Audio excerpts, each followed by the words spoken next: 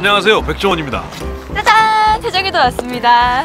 오늘은 진짜로 맛있는 소주를 찾아서 창원에 왔습니다 2,000명의 소비자가 직접 맛 테스트를 하고 그렇게 선택받은 그런 소주라고 합니다. 딱 그거죠 그럼 가볼까요? 네. 상남동으로 딱! 안주가 딱! 소주가 딱! 와, 맛있겠다. 그럼 마셔보겠습니다 딱! 아,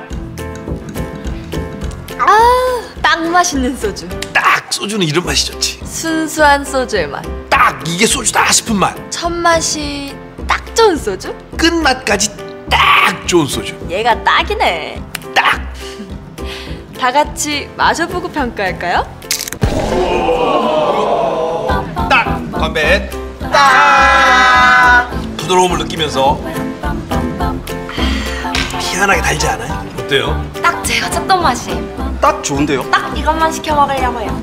여기 딱! 한 병만 더! 마셔보면 딱! 좋은데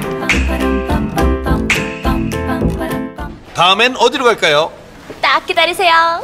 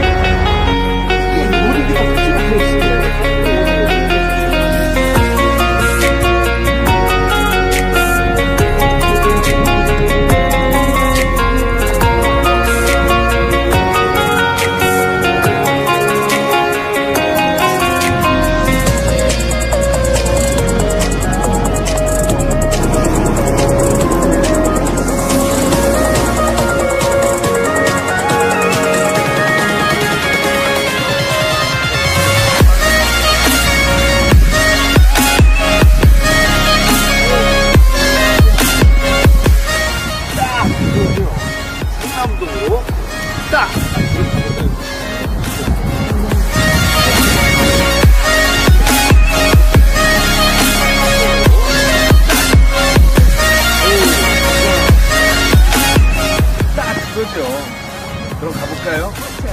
상남동으로? 액션!